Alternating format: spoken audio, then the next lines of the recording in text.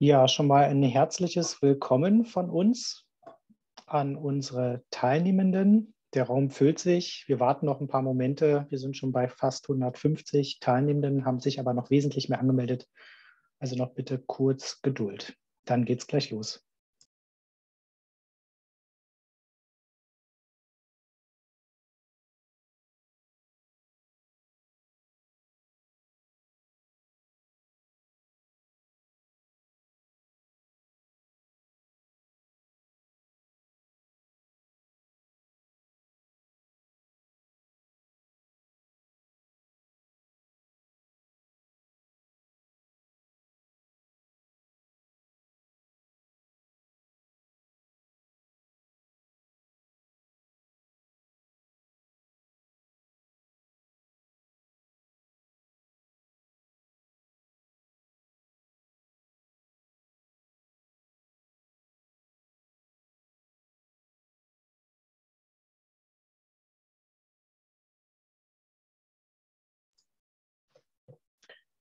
Ja, lieber Peter Kowalski, ich würde sagen, der Raum hat sich gut gefüllt. Es ist 14.01 Uhr, gute Zeit. Wir haben dick gepacktes Programm vor uns und ich denke, wir beide könnten starten. Wir haben ja noch etwas gewartet, bis der Raum sich füllt, aber schon mal im Namen von Peter Kowalski und von mir ein ganz, ganz herzliches Willkommen zu unserem Auftakt-Webinar heute zu unserer Städtereisestudie 2021, die ja den Titel hat Insight-Wissen für den Städtetourismus während und nach Corona. Und natürlich freuen wir uns beide sehr über Ihr ausgesprochen großes Interesse. Gestatten Sie mir vielleicht zu Beginn, weil es ja eine ganze Webinarreihe ist, dazu kommen wir noch später, vielleicht auch einige grundsätzliche Bemerkungen zur Einordnung des Themas. Ähm, Corona-Pandemie hat ja den Deutschlandtourismus besonders hart getroffen, aber noch mal einmal stärker betroffen ist natürlich der, gerade der Städtetourismus, Sie und wir alle wissen das, Messen, Konzerte, Events, Weihnachtsmärkte, Kultureinrichtungen, Geschäftsreisen, alles über Monate geschlossen oder nur teilweise geöffnet, abgesagt, verschoben. Und das drückt sich natürlich zum einen aus in dramatischen Rückgängen bei den Übernachtungszahlen, bei den Besucherzahlen, beispielsweise 2020 Berlin, ähm, um nur Beispiele zu nennen, minus 64 Prozent oder Düsseldorf minus 63 Prozent. München minus 62 oder Main-Taunus minus 69 Prozent Rückgänge. Ja, da dran hängen viele Beschäftigte im Deutschlandtourismus. Wir wissen, das ist ein riesiger Wirtschaftsfaktor. Zigtausend Beschäftigte in Kurzarbeit mit der Unsicherheit, wann, ob und wie soll es eigentlich weitergehen. Viele Betriebe Kredite aufgenommen haben, von Rettungshilfen abhängig sind und schon mehrmals sehr kreativ auch einen Neustart hingelegt haben, sich sehr sorgsam um ihre Gäste gekümmert haben. Das alles gehört in diesen Corona-Zeiten dazu. Und natürlich auch leider, dass viele schon den Tourismus ähm, als Beschäftigte verlassen mussten. Und deswegen muss uns klar sein, die Schwäche des Städtetourismus hat dramatische Konsequenzen für den gesamten Deutschland-Tourismus. Die Städte waren vor Corona, ich glaube, Peter Kowalski, das kann man zweifelsohne sagen, in den letzten zehn Jahren die Motoren für den Deutschland-Tourismus, der Wachstumstreiber im Tourismus. Ja, und wenn die touristische Nachfrage in der Stadt ausbleibt, betrifft das nicht nur uns und Sie, sondern es betrifft viele selbstständige, kleine und mittelständische Betriebe, die direkt oder indirekt für den Tourismus tätig sind. Und deswegen ist es besonders wichtig, jetzt den Fokus auf die Städte zu legen, die Städte in den Blick zu nehmen, Potenziale, Chancen zu erkennen und unsere Städte gerade mit neuen wissenschaftlichen Erkenntnissen auch zu unterstützen. Und da gibt es viele Fragen. Wie verändern sich Gästebedürfnisse, Angebotsformen, Verhaltens, Verhaltensmuster? Wie sehen neue Rahmenbedingungen für das Destinationsmanagement aus? Welche zukünftigen Nachfragepotenziale, Anforderungen oder auch Akzeptanzen für einen nachhaltigen Städtetourismus gilt, gilt es zu beachten? Und natürlich vor allem, wie kann der Recovery-Prozess beschleunigt werden? Und genau darum geht es unter anderem in unserer Städtereisestudie. Wir wollen speziell unseren Städten Informationen zur Gästesicht auf Bedürfnisse, Reiseverhalten und auch auf die Wahrnehmung der Städte als potenzielles Reiseziel in Corona-Zeiten an die Hand geben und ähm, dafür müssen wir auch ausdrücklich Danke sagen an den Bund, an das Bundeswirtschaftsministerium, denn unsere Städtereisestudie wird vom Bundesministerium für Wirtschaft und Klimaschutz gefördert. Und das Ganze im Rahmen der Fördermaßnahme jetzt langes Wort Leistungssteigerung und Innovationsförderung im Tourismus, kurz LIFT, Studien und Konzepte zur Zukunft eines wiedererstarkten Tourismus. Und das ist dann LIFT Wissen. Und für die Förderung bedanken wir, ich sagte es gerade, aber vor allem danken wir auch schon an dieser Stelle zu Beginn unserer Webinarreihe unseren Projektpartnern, möchte ich ausdrücklich erwähnen, das Europäische Tourismusinstitut ETI GmbH und natürlich St. Elmos Tourismus Marketing. Ja, Peter Kowalski, wir freuen uns heute gemeinsam auf spannende Einblicke, neue Erkenntnisse und wir sind heute Ihr Moderationsteam. Ja, lieber Norbert Kunz, ich freue mich riesig sozusagen, dass ich Teil dieses, ähm, dieser spannenden Webinarreihe sein darf. Ähm, ich unterstreiche das, äh, was, was äh, gesagt worden ist, nämlich äh, wir sprechen über einen der maßgeblichen Treiber in den, in den letzten Jahren vor der Corona-Pandemie, wenn es um die Erfolgskennziffern im Deutschlandtourismus geht. Wissentlich natürlich, dass wir hier über Bereiche sprechen, die sowohl den Business- als auch den Leisure-Bereich auch mit betreffen. Die Studie hier liegt jetzt ja ganz besonders den Fokus nämlich äh, auf das Thema Freizeittourismus und letztendlich ähm, auch mit Blick auf den deutschen Quellenmarkt auf eine sehr interessante Perspektive, die sich, glaube ich, viele Städte schon äh, in den vergangenen Jahren gewidmet haben. Tatsächlich auch das eigene Marktpotenzial ähm, sozusagen aus dem, aus dem Binnenlandraum auch nochmal stärker zu fokussieren. Ich erinnere mich immer gerne sozusagen auf die Zahlen der DCT, die gesagt haben, irgendwann gab es sozusagen die Aussagen, die, der, das Wachstumspotenzial liegt eigentlich immer nur noch im Incoming. Ich glaube, das hat sich jetzt deutlich äh, relativiert und wir stehen vor einer Situation, wenn ich sage, ähm, proaktiv Richtung 2022, lösungsorientiert und mit, mit einem guten Gepäck voll Wissen, nämlich Wissen dazu, was letztendlich die Gäste oder die Nutzer der Städte ähm, auch betrifft und äh, Wissen, wie dann letztendlich auch Entscheidungsträger oder DMOs dann auch äh, später oder Touristiker mit diesem Wissen umgehen können und effektiv Marktbearbeitung betreiben können. Also ich freue mich riesig. Ich bin auch sehr gespannt sozusagen äh, auf die verschiedenen Aspekte der, äh, der Beleuchtung heute im ersten Webinar, wo wir übergreifend über die ähm, Treiber und äh, Erfolgsfaktoren letztendlich auch sprechen wollen und dann auch auf die weiteren Bereiche, wenn wir es sozusagen sukzessive immer weiter vertiefen werden.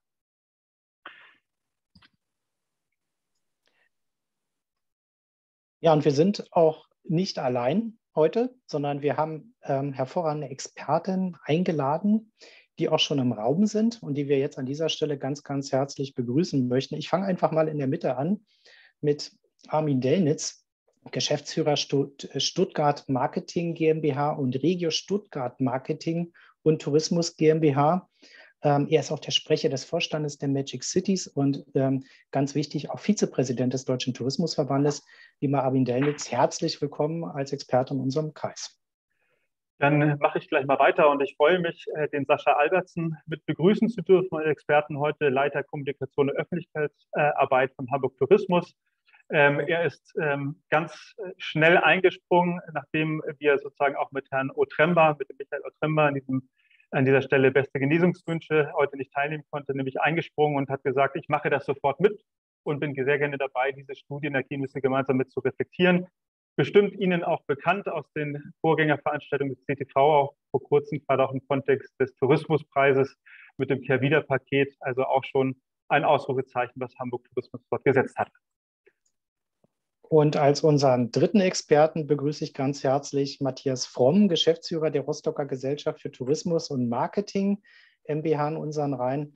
Ich glaube, viele von uns erinnern, uns noch, erinnern sich noch sehr gut und gerne an den Deutschen Tourismustag in Rostock. Herr Fromm, da war Ihre Stadt die Gastgeberstadt. Herzlich willkommen in unserem Kreis. So, wir haben uns verständigt, dass wir äh, gleich sozusagen ins Volle reingehen wollen. Insofern die ersten Studienergebnisse ähm, uns einmal vergegenwärtigen. Ich freue mich deswegen, dass wir ähm, den Juring Dicken, Leiter Marktforschung vom ETI-Institut, heute mit dabei haben, der in der Teamkonstellation diese Studie aufgesetzt und äh, letztlich durchgeführt hat. Und äh, insofern will ich gar nicht viel vorwegnehmen, sondern einfach das Mikrofon jetzt einmal drehen und bitte Jurin Dicken, ähm, ja, du hast das Wort. Vielen Dank. Äh, ich freue mich sehr, auch von meiner Seite noch. Herzlich willkommen zu diesem wirklich spannenden, zu dieser spannenden Webinarreihe. Ich glaube, wir können einige Erkenntnisse ziehen und äh, wir geben sie Ihnen häppchenweise, deswegen vier, vier Seminare. Ähm, ich bin seit ähm, 20 Jahren und seit über 20 Jahren in der Marktforschung im Tourismus tätig. Insofern ähm, haben wir einen ganz guten Überblick darüber, was im, der, auf den Märkten geschieht. Und jetzt geht es eben darum, Ihnen einmal zu zeigen, was die ersten Ergebnisse, Zwischenergebnisse dieser Studie hier sind. Und das würde ich Ihnen gerne vorführen. Zunächst einmal was haben wir eigentlich gemacht? Ähm, wir haben insgesamt knapp 7000 Personen dazu gefragt, wie sie denn Städtereisen unternehmen. Ähm, dabei vertiefen wir die Befragung mit insgesamt über 5000 Personen, die wir als städtereiseaffine Personen identifiziert haben. Das heißt, wir fragen diese vertieft nach deren Reise- und Informationsverhalten, ähm, schauen, wie sie an städtespezifischen Themen interessiert sind. Und insbesondere haben wir eine Reihe von ähm, Orten tatsächlich abgefragt, ähm, die insgesamt 150 äh, Städte, die wir zu deren Eignung für bestimmte Themen und auch gerade in der Zeit jetzt zu Corona und äh, zu deren Sicher Sicherheitswahrnehmung ähm, gesehen. Wir haben hier also eine Auswahl an 150 Städten, ähm, knapp über 100 aus Deutschland und auch der internationale Markt, um dort Vergleiche entsprechend ziehen zu können. Ein wichtiger Punkt ähm, ist sicherlich noch die Einbeziehung der Sinusmilieus, damit wir eben die Zielgruppenspezifika ähm, hier auch nochmal ganz besonders herausarbeiten können. Ähm, die Besonderheit der Sinusmilieus ist eben, dass es weder Verhaltens- noch ähm, äh, auf Demografie äh, beschränkt sind, sondern es geht hier um eine Einordnung in Gruppe Gleichgesinnter, die sich in Lebensauffassung, Werteset und Lebensweise entsprechend ähneln. Diese sind im Ende 2021 nochmal aktualisiert worden. Das erste Mal seit zehn Jahren seitens des Sinus-Instituts. Und insofern haben wir hier praktisch mit den auch aktuellen Milieus ähm, gearbeitet. An der einen oder anderen Stelle nehme ich dann während der Ergebnisvorstellung dazu auch nochmal Bezug. Was wir noch gemacht haben, ist die 150 Städte in vier Kategorien einzuteilen. Äh, wir haben da eine Kategorie Must-See-Städte. Das sind echte Tourismusmetropolen wie Amsterdam, Barcelona, Berlin, Hamburg, ähm, die eine hohe Magnetwirkung und letztendlich auch eine international renommierte Einrichtung und Sehenswürdigkeiten aufzuweisen haben. Dann Historic Highlights wie Aachen, Potsdam, Trier und so weiter, die insgesamt eine hohe Anzahl bedeutender kulturtouristischer oder historischer Gebäude und Städten äh, vorweisen können und dementsprechend entsprechende Anziehungspunkte bilden. Darüber hinaus Event Cities wie Frankfurt, Hannover, Köln mit einem hohen andersbezogenen Eventfokus. Und äh, als letztes die sogenannten Green Blue Cities. Das sind Städte wie Freiburg, Kiel, Lübeck oder Rostock, die mit einem hohen grünen oder wasserspezifischen Stadt- und Stadt-Umlandbezug ähm, punkten. Die verschiedenen Auswertungen, ähm, auf die nehmen wir dann in den vier Webinaren dann auch immer wieder Bezug. Kommen wir als erstes also zum Reiseverhalten allgemein und äh, insbesondere während Corona. Wenn wir uns einmal ansehen, ähm, haben Sie in den letzten drei Jahren eine Städtereise unternommen, dann sind das 55 Prozent. 71 Prozent haben geäußert, dass sie ein grundsätzliches Interesse an Städtereisen haben. Das bildet praktisch in der Bevölkerung äh, 18 bis 69 Jahre mit 72 Prozent das städtereiseaffine ähm, Potenzial, das wir in der Bevölkerung sehen. Wenn wir hier schon den ersten Bezug zu den Sinusmilieus äh, sehen wollen, dann sind dort die postmateriellen, die Performer, die expeditiven und neoökologischen überdurchschnittlich oft vertreten. Also das sind dann die Zielgruppen, die hier auch ähm, in der Bevölkerung entsprechendes Potenzial vorweisen und etwas größer äh, von den Anteilen sind als die übrigen Milieus.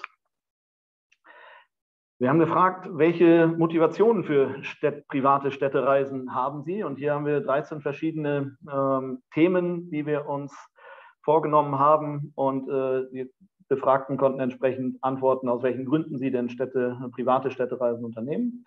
Und hier eindeutig 77 Prozent, äh, das ist der Besuch von Sehenswürdigkeiten der äh, Attraktionspunkt schlechthin, aber auch urbanes Flair in Städtkultur eintauchen, ähm, die Kulinarik, auch die Nähe zu äh, Wasser und der Besuch von Einrichtungen sind entsprechend häufig hier vertreten. Der Besuch von Sportereignissen und Szene Club Bar besuchen ist dann eher ähm, untergeordnet zu sehen, aber in Nischen und bestimmten Zielgruppen sicherlich auch ein wichtiges Thema. Wir haben auch gefragt, welche Faktoren denn für die Auswahl äh, des Städtereiseziels zudem noch eine Rolle spielen. Und da ähm, haben wir insbesondere das Preis-Leistungs-Verhältnis und eine gute Unterkunft. Jeweils etwa zwei Drittel der Befragten, die das genannt haben. Der Preis äh, ist hier sicherlich äh, mit 40 Prozent auch noch ein wichtiger, der in bestimmten ähm, Sinusmilieus auch nochmal eine Rolle spielt. die Barrierefreiheit und die, äh, insbesondere die Nachhaltigkeit mit 10 Prozent spielen äh, in dieser Befragung zunächst erstmal eine eher untergeordnete Rolle. Kommen wir nun zum Switch und zwar, was hat eigentlich Corona für Auswirkungen auf diese allgemeinen ähm, Städtereiseaffinität? Und wenn wir äh, fragen, wenn Sie die aktuelle Bereitschaft, private Städtereisen zu unternehmen mit der Zeit vor Corona mal vergleichen, wie sieht das eigentlich aus? werden Sie aktuell mehr, weniger oder genauso viele Städtereisen unternehmen? Und da sagen nur in Anführungsstrichen 5 Prozent, dass Sie mehr Städtereisen unternehmen wollen. Und das, was die Auswirkungen, die wir äh, in allen Städten ja auch sehen, Herr es äh, angedeutet, 56 Prozent haben im Moment weniger Lust zu fahren. Und äh, je älter die äh, Befragten werden, umso mehr äh, geht ihnen auch die Lust an Städtereisen verloren. Das heißt also, die eher jüngeren sind zu diesem Zeitpunkt äh, Gäste, die noch eine höhere Bereitschaft zeigen.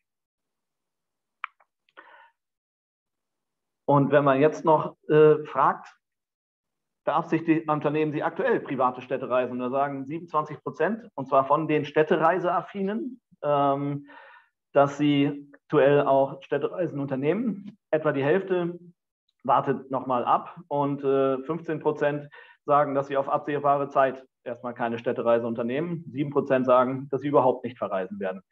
Das ist sicherlich ähm, ein Punkt, der in den Webinaren auch zu diskutieren ist. Wie bekommt man die 51 Prozent vielleicht dennoch dazu, ähm, dann Städtereisen zu unternehmen? Da bin ich dann gespannt auf die Diskussion.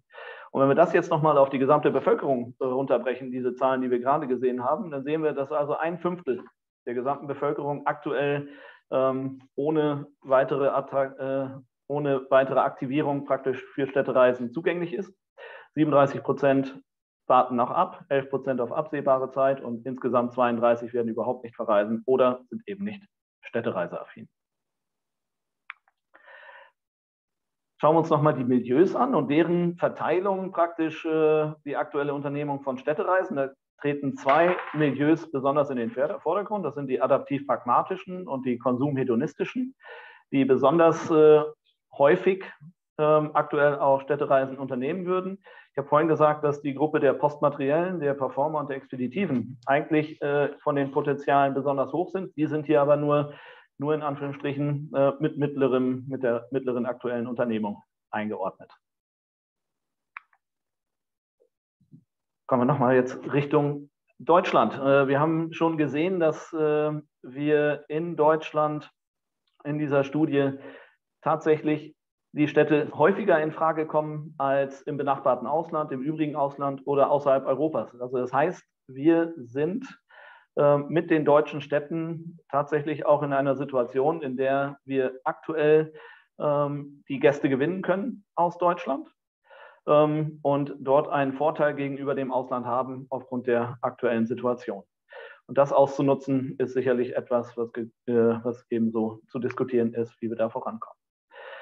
Schauen wir uns an, hier ziehen wir mal das erste Mal ein Bild aus den 150 Städten und die Frage, welches sind denn auch während Corona attraktive Städtereiseziele?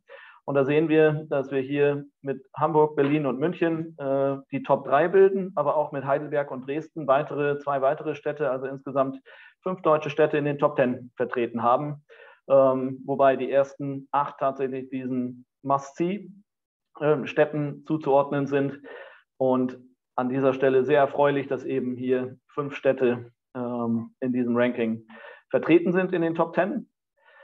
Das Ganze nochmal auf die als sicher wahrgenommene Städtereiseziele während Corona. Also sind diese Städte äh, für Sie sicher während Corona? Äh, da beschränkt sich die Auswahl sozusagen nur in Anführungsstrichen auf deutsche Städte. Von Hamburg über Bremen, München, Kiel, Freiburg, Berlin, Köln, Bamberg, Flensburg, Heidelberg. Alle Städte aus Deutschland. Und das ist sicherlich ein Punkt, der ähm, uns dazu bewegen äh, sollte, die deutschen Städte entsprechend weiter nach vorne zu ziehen. An dieser Stelle erstmal herzlichen Dank für Ihre Aufmerksamkeit und ich übergebe wieder an Herrn Kowalski.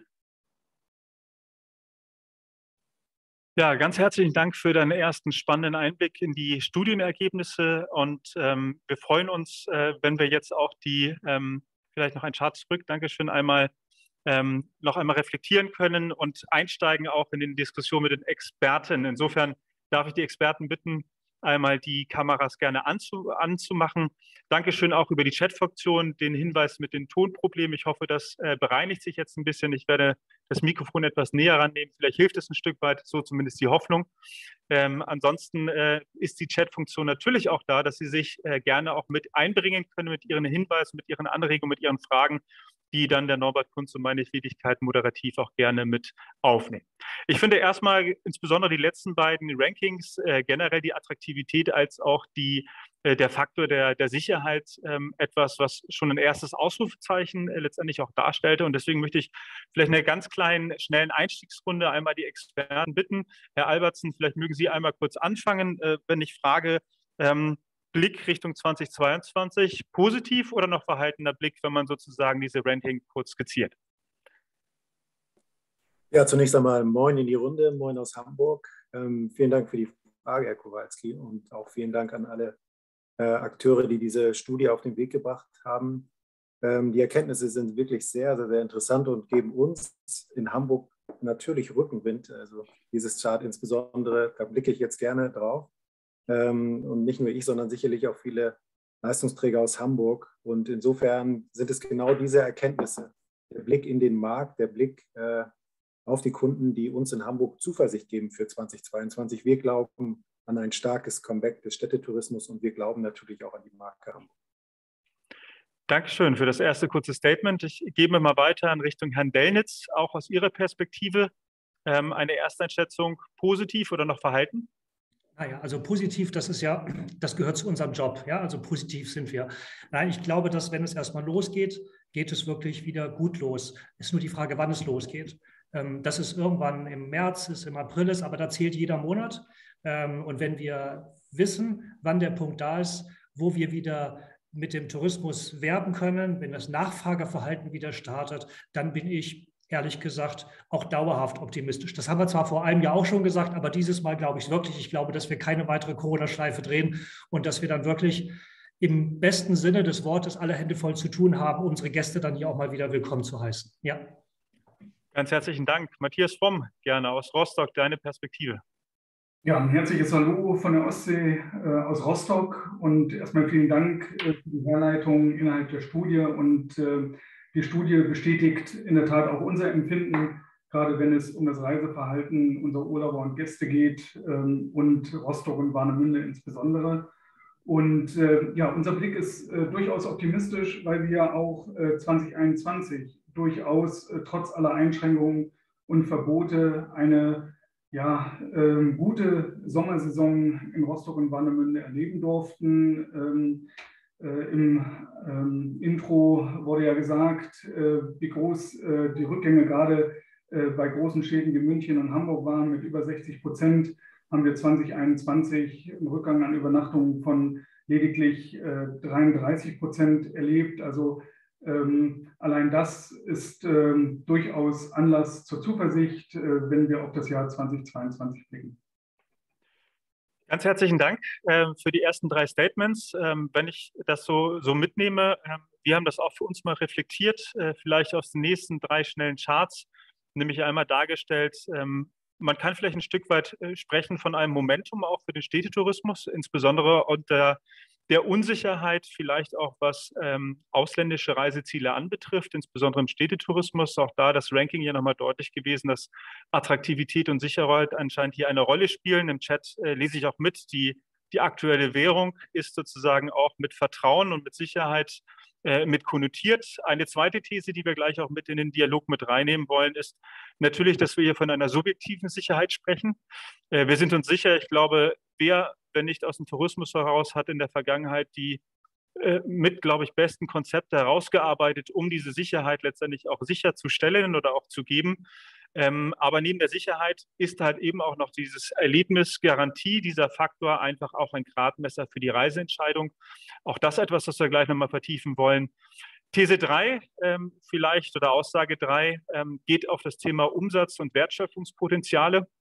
Und vielleicht auch mit der Frage, die der Jurin Dicken ja aufgezeigt hat äh, im Kontext der Sinusmilieus. Wir, wir merken hier sozusagen auch eine deutliche Differenzierung oder Verbreitung letztendlich auch der Marktpotenziale. Insofern interessant, richten wir uns neu aus, erweitern wir uns, auch äh, wenn wir natürlich ähm, äh, in der Vergangenheit sehr stark an der Positionierung einzelner Städte ja auch gearbeitet haben. Und letzte These, bevor wir inhaltlich in den Dialog einsteigen wollen. Ähm, auch das wurde ja im Chat ja schon mal genannt, das Thema Vertrauen und mehr Promotoren, entsprechend nicht nur durch die Kommunikateure ähm, seitens äh, der Touristiker, sondern tatsächlich auch diejenigen, die die Stadt leben und letztendlich dann auch die besten Multiplikatoren und Botschafter ähm, aus der eigenen Stadt auch sein können. Insofern äh, steigen wir ein. Norbert Kunz, äh, du hast das Wort. Ja, vielen Dank. Auch vielen Dank für die Präsentation und für den Einstieg. Ich glaube, wir haben jetzt eine spannende Diskussion vor uns. Wir öffnen ja gleich in Richtung auch unseres gesamten Publikums. Aber bevor wir damit starten, haben wir auch die Möglichkeit, ein einzelnes Mikrofon zum Beispiel mal freizuschalten. Und da haben wir eine Wortmeldung gesehen im Raum von Katja Frank. Und wie sagt man so schön mit Blick auf die Regie, ist das möglich, dass Frau Frank ihre Frage direkt stellen kann. Frau Frank hat jetzt eine Sprecherlaubnis und müsste nur noch ihr Mikro aktivieren. Wunderbar. Frau Frank, Sie haben das Wort, wenn Ihr Mikro an ist.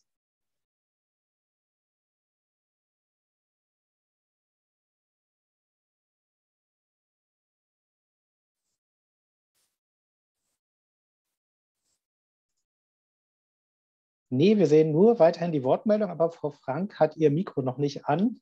Insofern ähm, machen wir erstmal einfach weiter im Programm mit unserer Publikums, mit unserem Publikumsvoting, Peter Kowalski. Und da haben wir eine Frage vorbereitet, ähm, die Sie alle gern jetzt beantworten können. Ähm, denn unsere Frage, wenn wir uns das hier anschauen, lautet, ähm, das Mentimeter, unser Umfragetool, hat sich auch gleich, hat sich gleich geöffnet, deutscher Binnenmarkt, Lückenfüller oder langfristiges Marktpotenzial für den Städtetourismus. Das lassen wir jetzt mal hier im Hintergrund noch ein bisschen laufen. Lieber Peter Kowalski, vielleicht äh, schafft es Frau Frank auch noch, ihr Mikro einzuschalten und dann können wir gleich mit dem Ergebnis auch nochmal ähm, uns gemeinsam das Ergebnis anschauen und gleich das auch in unsere Diskussion mit einbauen. Die Beantwortung ist natürlich anonym. Ähm, nur wir hier sehen, wer antwortet. Nein, Spaß beiseite. Ähm, insofern ein erster Eindruck, den wir gerne mitnehmen wollen. Ähm, auch das sei an dieser Stelle noch gerne noch einmal gesagt. Wir nutzen natürlich auch Ihre Hinweise, Ihre Anregungen auch, um das später nochmal mit den Studienergebnissen auch mit zu verschneiden und dementsprechend das ähm, aggregierte Wissen aus den Expertengesprächen und aus dem Chatverlauf dann auch in eine gemeinsame Dokumentation äh, der Studienergebnisse letztendlich auch zu überführen. Wir sehen äh, momentan die Zahlen steigen. Sie können, glaube ich, live mit uns mitschauen. Wir warten, bis wir die 100 Prozent hoffentlich gleich erreicht haben. Ähm, aber keine Angst, wir nötigen auch nicht, wenn es irgendwann stehen bleiben sollte. Aber wir geben Ihnen auf jeden Fall noch den Raum, äh, hier einmal zu votieren. Momentan eine deutliche Tendenz, über 82 Prozent, wenn es so bleibt. Ähm, steigt momentan noch. Ähm, der Blick auf das langfristige Nachfragepotenzial aus dem Binnenmarkt heraus. Ich kann das nur reflektieren. In, in, verschiedenen Städten, die wir begleitet haben, hatte dieses Thema immer eine große Relevanz gehabt. Also nicht nur aus der eigenen Region heraus, sondern auch in den innerdeutschen äh, Quellmärkten letztendlich. Und es scheint sich auch hier nochmal zu bestätigen, dass gerade jetzt vielleicht mit der Frage des Momentums, die wir jetzt vielleicht auch aufgreifen wollen, ähm, letztendlich dann auch ähm, eine neue Perspektive für die innerdeutschen Märkte nicht nur 2022, sondern auch perspektivisch aufgemacht wird. Ich würde vorschlagen, wir nehmen das mit als, äh, als erstes Voting, als erste Einordnung und äh, wir starten jetzt gemeinsam in den Dialog. Genau, und da fangen wir gleich mit unserer ersten Frage an. Die richte ich an Armin Delnitz. Ähm, wir haben das ja gerade in der Präsentation auch sehr eindrucksvoll gesehen, dass ähm, bei der Frage nach den attraktivsten Städtereisezielen während der Corona-Pandemie, ähm, die aus der Perspektive der städtereiseaffinen Deutschen die deutschen Metropolen Hamburg, Berlin, München vor den internationalen Schwergewichten wie Amsterdam, Kopenhagen oder Wien lagen. Und das in der Top 10 sind mit Heidelberg und Dresden sogar fünf von zehn Städten mit dabei waren. Und deswegen die Frage, welchen Stellenwert, Armin Deltitz, haben deutsche Städte aus Ihrer Perspektive und mit welchen Faktoren wie Mehrwerten, Erlebnissen können deutsche Städte in Zeiten von Corona aus Ihrer Sicht am stärksten punkten? Ja, vielen Dank. Also ich wollte erstmal mich auch bedanken, dass wir uns um die Städte so kümmern in dieser Form. Das ist ganz wichtig, das ist überfällig und wir würden es ja nicht machen, wenn die Städte im Moment nicht äh, riesige Probleme hätten. Ähm, ich, ich, glaube, dass ähm, keine Stadt von denen, die gerade aufgezählt wurden, so gut wären und dastehen würden, ähm, wenn sie nicht ohnehin schon im internationalen Wettbewerb so stark dastehen würden. Also es ist ja nicht so, dass jetzt irgendwie nur künstliche Rahmenbedingungen geschaffen werden und auf einmal ist Hamburg eine Top-Stadt, sondern ähm, Hamburg hat sich das erarbeitet über viele Jahre, Berlin genauso, andere Städte genauso. Und wir sind äh, möglicherweise, haben wir uns etwas unterschätzt in der Vergangenheit. Ich glaube, dass wir im deutschen ähm, mit den deutschen Städten ähm, durchaus international eine ganz hervorragende Ausgangsbasis haben. Das ist das eine. Äh, wie gesagt, umsonst würde es nicht kommen und der Gast kommt nicht einfach aus Mitleid zu uns, sondern äh, der weiß sehr genau, äh, was er bekommt, wenn er wohin fährt. Das Zweite ist natürlich, und das spielt letztendlich die Rahmenbedingungen schon in die Karten, die Verunsicherung über Corona, Sicherheit, ähm, Anreise, wie lange reise ich an, fliege ich, fliege ich nicht, führt dazu, dass man ähm, eine kurze Anreise bevorzugt und damit deutsche Ziele eher sicherlich im Moment gerade in der Gunst stehen und deswegen wir einen gewissen Vorteil haben. Ähm, sie sind, äh, die Städte bei uns, und das weiß man, haben sich sehr, sehr gut und sehr sicher aufgestellt, bieten gute Rahmenbedingungen. Ich glaube nur, und das möchte ich abschließend nur sagen, ohne dass ich zu weit mich aus dem Fenster lehnen möchte, das ist im Moment so ein Windzug, äh, auf dem wir uns nicht ausrufen, äh, ausruhen dürfen. Wir haben im Moment, ähm, äh, es wird sicherlich jetzt vielleicht 22 so einen Effekt geben, aber wir müssen ja immer langfristig denken. Und langfristig gesehen dürfen wir uns nun nie darauf ausrufen, ausruhen, weil irgendwann kommt der Punkt, wo alle wieder ins Ausland reisen, wo der Wettbewerb also wieder komplett vorhanden ist. Und da müssen wir genauso bestehen, wie wir es jetzt tun. Ähm, eines noch abschließend, ähm, das will ich nur noch mal kurz anreißen. Ähm, ich glaube, dass wir, ähm, dass wir im Moment riesige Probleme haben in den Städten, denn ähm, es ist ja nicht so, dass das Nachfrageverhalten im Moment so begrenzt vorhanden ist, sondern wir haben auch mit unseren Angeboten ein riesiges Problem. Ähm, und zwar ein riesiges Problem. Es, geht also bei weitem nicht nur ums Marketing, was wir im Moment zu tun haben. Ähm, wenn es um das Messegeschäft geht, wenn es um die großen Kongresse geht, den ganzen Geschäftstourismus, wenn es um Großveranstaltungen geht, Großevents geht. Das ist ja nicht so, dass dieses Angebot einfach da ist oder angenommen. Es ist auch nicht so, dass wir es nächsten Monat einfach alles anknipsen können und dann ist auf einmal wieder alles da. Das heißt, wir haben, und das sollten wir immer im Hinterkopf behalten, wirklich große Herausforderungen und die Karten werden wir im Städtetourismus in Teilen neu mischen müssen. Das gehört zur Wahrheit mit dazu. Und deswegen ähm, bin ich froh und dankbar, dass wir über den Städtetourismus diskutieren, dass wir uns dessen bewusst sind, mit welchen Herausforderungen wir zu leben haben, aber dass wir auch tatsächlich wissen, und das will ich unterstreichen, dass wir Chancen haben. Übrigens auch kleinere Städte riesige Chancen haben, möglicherweise größere, als wir sie vor ein paar Jahren noch gehabt haben. Und in diesem Sinne freue ich mich über die Diskussion und über viele Anregungen. Und darum soll es ja auch heute gehen. Vielen Dank. Vielen Dank vor allem für den Hinweis, die Angebotsseite jetzt gerade in dieser Phase in den Blick zu nehmen, lieber Armin Delnitz. Also gerade das, was den Städtetourismus ja auszeichnet. Vielleicht noch eine kurze Nachfrage zur Angebotsvielfalt. Ist es das, was unsere Städte besonders, wo unsere Städte besonders auch im Wettbewerb gut punkten, dass sie besonders vielfältig sind? Du hast ja einige, einige ähm, Bereiche auch erwähnt, ähm, Messen, große Events, große Veranstaltungen etc. pp. Ist es das, was uns vielleicht auch etwas abhebt von anderen Städten im Wettbewerb? Ja, es ist sicherlich so. Es ist die Qualität des Angebotes, es ist die Qualität der Angebote. Aber genau das ist das, was uns ja in Teilen in Städten im Moment gerade Sorgen macht. Denn wir wissen, dass die Angebote in den Innenstädten, zu denen übrigens der Einzelhandel für den Tourismus genauso gehört, Einzelhandel, das Thema Shopping ist ja eines der wesentlichen Aktivitäten von Gästen, wenn sie in unseren Städten sind. Darf man nicht unterschätzen. Und wir merken, welche Probleme alle im Moment gerade mit diesem Thema haben. Also ähm, das Thema Wandel der Innenstädte die Wohlfühlbereiche in den Innenstädten, das Mix aus einer angenehmen Form von unterschiedlichsten Angeboten, die sich miteinander ergänzen und zu einer Gesamtsumme werden, das ist eine, äh, das ist, das macht letztendlich den Städtetourismus aus.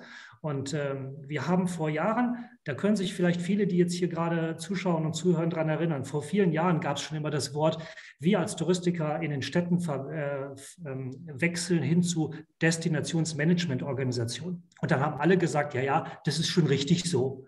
Aber mal ganz ehrlich, äh, so richtig bewusst ist mir das jetzt geworden in den letzten Monaten, weil äh, wenn wir jetzt weiterhin nur bitte vorsichtig ausgedrückt, nur Marketing machen würden, sind wir völlig falsch beraten. Wir haben im Moment als äh, Marketing- und Managementorganisation die Aufgabe, das Angebot wieder aufzubauen mit allen Partnern, die in unseren Städten zusammen mit uns arbeiten. Und das ist eine riesige Herausforderung. Und das ist aber letztendlich äh, der Garant für einen erfolgreichen Städtetourismus. Und deswegen arbeiten wir im Moment an zwei Baustellen. Einerseits an einer intelligenteren Form von Marketing und Kommunikation nach außen, andererseits aber auf äh, noch viel mehr Engagement im Bereich des Aufbaus von guten, qualitätsvollen Angebots, äh, Angebot in den, in den Städten. Und das ist schon für viele von uns sicherlich eine, eine neue Aufgabe, die alle in den letzten Monaten kennengelernt haben. Dankeschön. Da haben wir auch gleich noch eine Wortmeldung gesehen. Und zwar, ich glaube, das könnte auch funktionieren, dass wir das hinbekommen. Und zwar Heike der König aus Nordrhein-Westfalen hat sich freigeschaltet, äh, hat die Hand gehoben und wir wollen sie gerne freischalten. Ähm, und wir hoffen, dass es funktioniert. Heike der König, kann, können Sie uns hören? Ja, ich mache jetzt mal den Test. Ich, äh, es funktioniert. ein Nicken, es funktioniert. Ja, dann einen herzlichen Gruß aus Düsseldorf an der Stelle. Ähm, auch ein herzliches Dankeschön für dieses Forum und die Gelegenheit, hier heute zu diskutieren. Ich wollte einen kurzen Insight geben, weil wir ja ein Land mit vielen Städten sind und uns seit längerem mit dem Thema Städtetourismus und Städtetourismus im Wandel beschäftigen. Und ich möchte gerne noch mal eine Komponente äh, in die Diskussion werfen, aufgreifen, das an das, was Armin Dellen jetzt gerade gesagt hat, das Thema Destinationsmanagement und wenn man noch einen Schritt weiter geht, um Lebensraummanagement.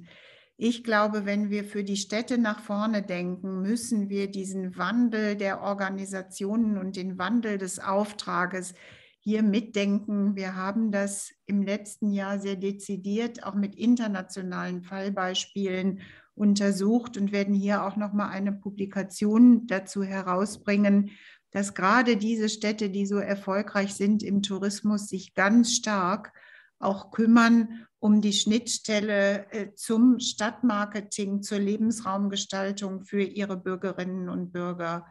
Und ich glaube, dass hier ein Schlüssel liegt, nicht mehr zu trennen in den Anspruchsgruppen zwischen Touristen, zwischen denen, die kurz da sind und denen, die länger bleiben sollen, sondern sich hier, ich sage mal, in neuen strategischen Allianzen aufzustellen.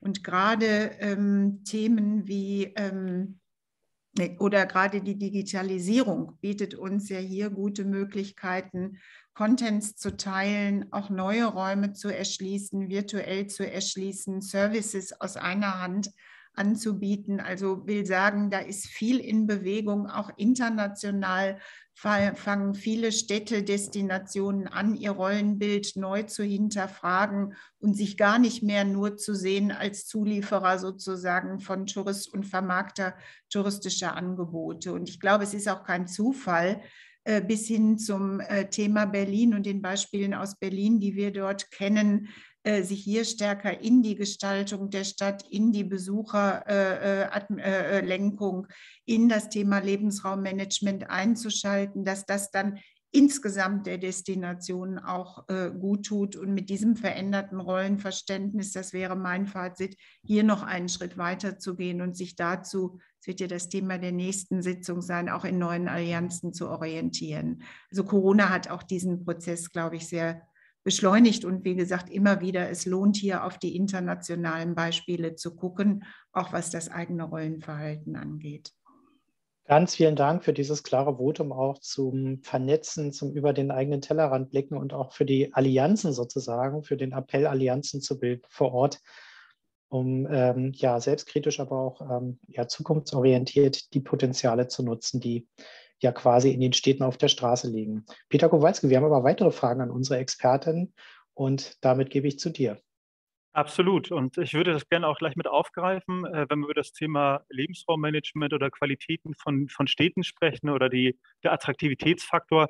dann ähm, müssen wir uns, glaube ich, nicht, äh, nicht großartig verstellen, dass wir vielleicht mit den ersten Rankings auch gerechnet haben, so dass ein Hamburg, ein München, ein Berlin irgendwie dort, dort, vorne, sich, dort vorne sich auch mit nicht platzieren, äh, mit ihrer Wirkung, die diese Städte, der Jurin Dicken hat es ja gesagt, als Must-Sees äh, letztendlich auch etabliert haben. Interessant finde ich aber auch die Perspektive, äh, dass sich äh, deswegen auch diese Clustergruppen, die als Vergleichsgruppen ja gebildet worden sind, dass für eine Reihe weiterer Städte, und das ist ähm, nicht nur ein, ein, Heidelberg, was da auf einmal auftaucht oder ein Dresden, sondern wenn wir ähm, mal die Top 30 etwas skizzieren, wir haben den Vorteil, würden wir so ein bisschen hinter die Kulissen gucken der Studie, dann merken wir, dass dort auf einmal auch Städte wie ein Kiel, ein Freiburg, ein, äh, ein Lübeck, ein Rostock, ein Potsdam auch eine sehr äh, hohe Relevanz mittlerweile erfahren, äh, was vielleicht auch was mit dem Thema Lebensqualität und Besonderheit dieser Standorte zu tun hat.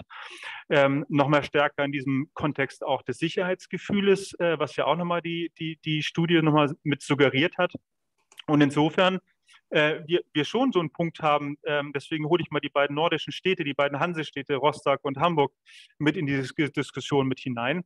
Ähm, Herr Albertsen, wenn ich mit Ihnen äh, beginnen dürfte und äh, wir jetzt gucken und vielleicht nicht nur auf Hamburg äh, den, den Fokus richten, sondern generell auf das Thema deutsche Städte. Nehmen Sie den Herrn Fromm mit, ne? dann, wenn wir die Handelsstädte mit einbinden wollen, aber denken wir auch auf die südlichen Kollegen. Herr Dellnitz hört ja aufmerksam zu.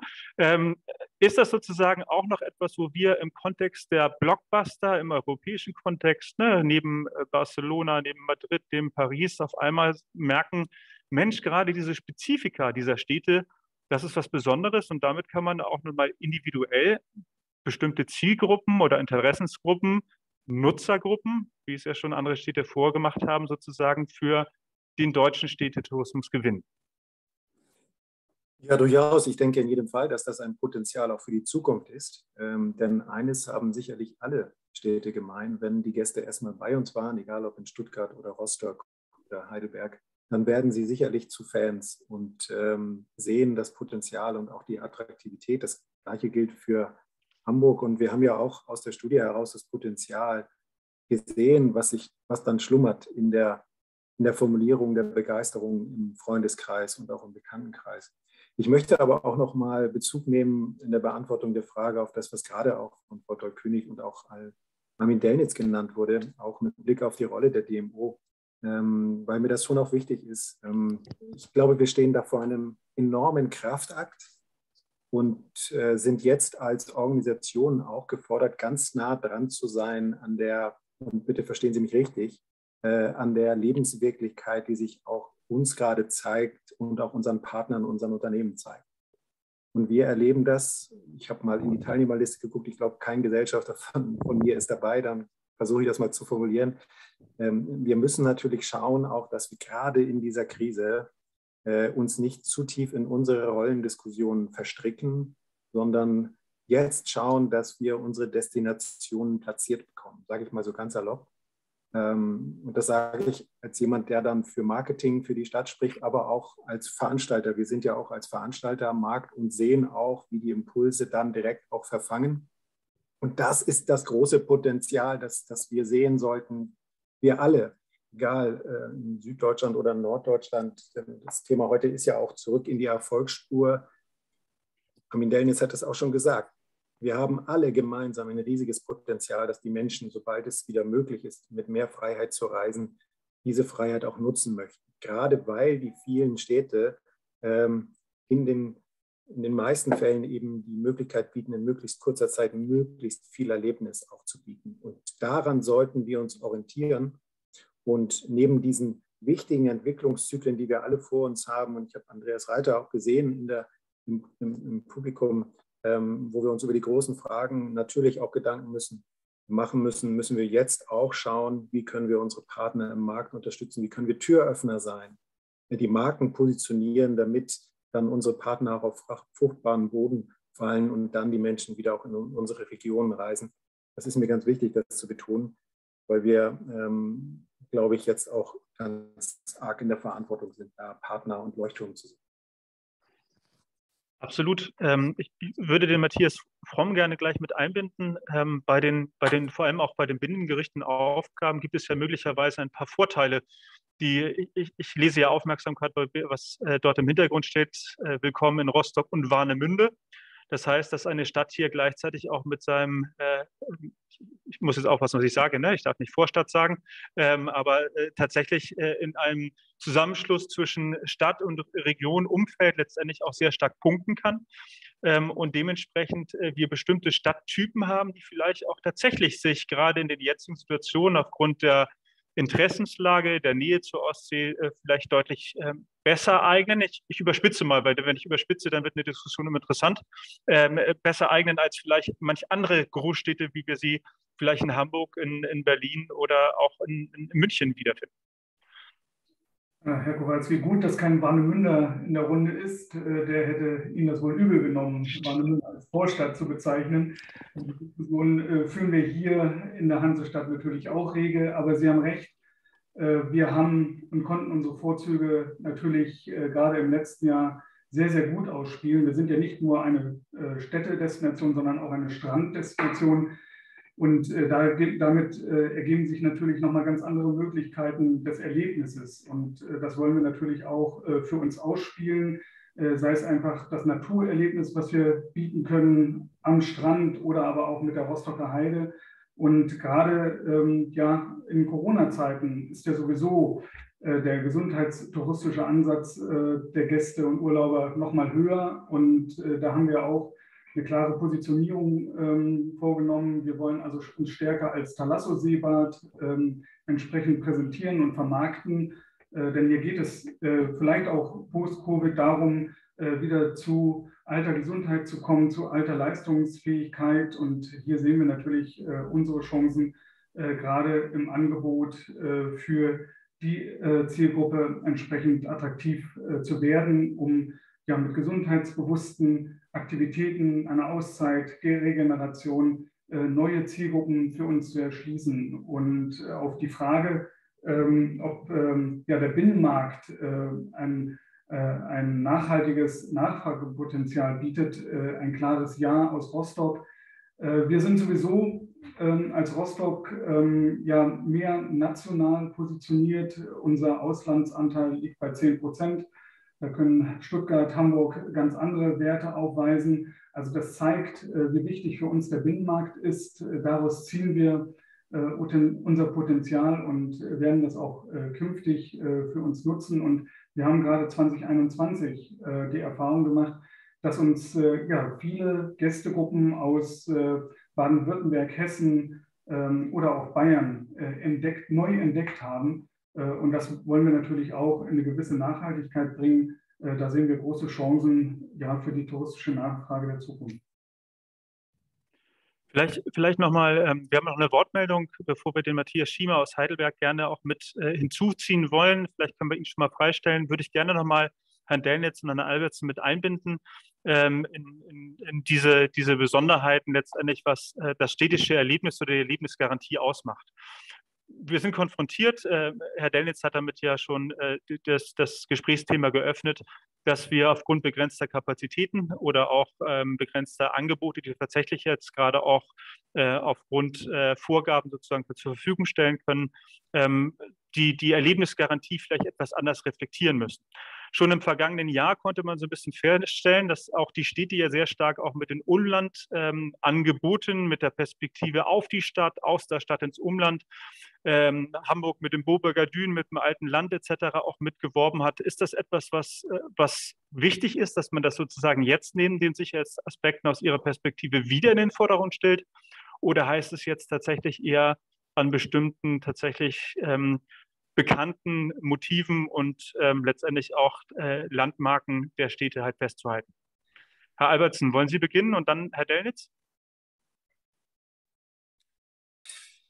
Ja, ich glaube, das eine schließt das andere nicht aus. Ähm, da würde ich nun für Hamburg dann natürlich in Anspruch nehmen können, dass wir das Glück haben, eine recht klare Positionierung schon im Markt zu haben. Das gibt uns die Möglichkeit, ähm, auch genau hinzuhören, was unsere Kunden wünschen. Und da haben wir festgestellt, dass gerade, und das ist sicherlich eine Veränderung auch der Pandemie, dass wir in den letzten Jahren von unseren Kunden ganz häufig nachgefragt wurden, Mensch, können wir nicht eine kombinierte Stadt-Land-Reise über euch buchen? Das heißt, wir haben ähm, Reisepakete aufgelegt, die es unseren Gästen ermöglicht, eine Städtereise zu buchen und quasi dann auch im Anschluss einmal im Durchbuchen dann auch ein Hotel an Nord- und Ostsee buchen können. Also das ist schon etwas, was sich sicherlich verstetigt, äh, wo wir im letzten Jahr einen Anfang gemacht haben und wo wir auch in diesem Jahr noch deutlich ähm, mehr investieren werden, im wahrsten Sinne des Wortes auch in der Kommunikation. Ähm, das hat dann aber tatsächlich auch etwas damit zu tun, dass wir spüren, dass der Kunde das äh, nachfragt und sucht und wir möchten es ihm dann auch so smart wie möglich machen, ähm, das zu bekommen, was er sucht. Wobei wir da auch die Herausforderungen natürlich spüren, im, ich sag mal, im übergreifenden Kontext mit anderen Partnern aus anderen Bundesländern zusammenzuarbeiten. Fischt man da in einem falschen Gewässer? Ist es richtig, dass Hamburg sich um schleswig-holsteinische Partner bemüht? Also da kommt man dann auch so an Herausforderungen. Aber wenn man, glaube ich, da klar den Blick an den Bedürfnissen des Kunden und unserer Gäste behält, dann sollte man genau in diese Richtung denken. Ähm, und insofern sehen wir da eine große Chance, ähm, die Regionen um uns herum noch stärker anzubinden und auch umgekehrt. Es ist ja nicht nur so, dass Hamburg Vorzüge hat, sondern auch die Regionen um uns herum. Sie haben das alte Land genannt oder auch die Heideregion. Ähm, da können wir auch sehr stark von unserer Region profitieren. Auch Rostock ist nicht weit. Also mit Tobias Heutendorf haben wir auch viele Kooperationen gemacht, wo wir genau diese Wechselwirkung auch genutzt haben ähm, und diese unterschiedlichen Facetten dann insgesamt zu einem stimmigen Gesamtkonzept gebracht hat. Und ich glaube, genau darum geht es zu verstehen, was suchen die Menschen. Ich glaube, die Reiselust wird unfassbar groß sein. Ähm, und da sind dann auch von uns kreative Lösungen gefragt, wie wir diese Reiselust dann auch für uns nutzen. Ich möchte vielleicht, ähm, vielleicht direkt anschließen. Ich, ähm, ich will zwei, bei zwei Seiten aufzeigen. Ähm, auf der einen Seite ist es sehr empfehlenswert, dass die Städte mit ihren Regionen viel konsequenter als möglicherweise seither zusammenarbeiten, weil der Verbund ähm, stärkt einerseits ihr touristisches Angebot, es vergrößert das touristische Angebot, es bringt noch viel mehr Spannung in das touristische Angebot rein von dem, was sie anbieten können. Und man sieht das ja auch, dass es viele Beispiele gibt, wo Städte mit den Regionen immer mehr zusammenarbeiten. Sascha, du hast es eben gerade gesagt, das macht ihr ja bei, bei euch auch. Es gibt andere Beispiele, Leipzig, äh, jetzt auch als Region Leipzig. Äh, wir in Stuttgart jetzt schon seit sehr, sehr langer Zeit. Ähm, ich selber bin ja Geschäftsführer von der Regio Stuttgart und von der Stuttgart Marketing. Das sind wirklich zwei Gesellschaften, die man aber schon seit vielen Jahren in eine Gesellschaft sozusagen inhaltlich arbeiten lässt und wir damit die Region auch immer mitziehen können. Das hat riesige Vorteile. Aber ich möchte jetzt auf der anderen Seite noch mal etwas sagen, was, dem, was mir in den letzten Monaten aufgefallen ist, als ähm, Corona losging und wir Städte alle nach Wegen gesucht haben, wie wir uns nach außen darstellen, dann habe ich manchmal mir die Augen gerieben, weil ich gedacht habe, die Städte sind ja keine Naturparks. Da sind zum Teil Marketingaktivitäten gelaufen, wo ich die Stadt, wo ich keine Stadt mehr erkannt habe. Also ich, ich finde, man muss auch wissen, was seine DNA ist. Und Städtetourismus ist Städtetourismus. Und dann kann ich nicht anfangen, meine Stadt nur als, als Parkanlage darzustellen. Ähm, weil das, was uns als Städte ausmacht, ist ja das, ist ja gerade das, ähm, mittendrin zu sein, das dichte Angebot zu erleben, auch andere Leute zu sehen, sehen und gesehen werden. Ähm, ich muss mich nur umdrehen, habe ein paar Meter und komme zum nächsten Angebot. Also alles das macht es ja auch aus. Und das ist ja nicht weg.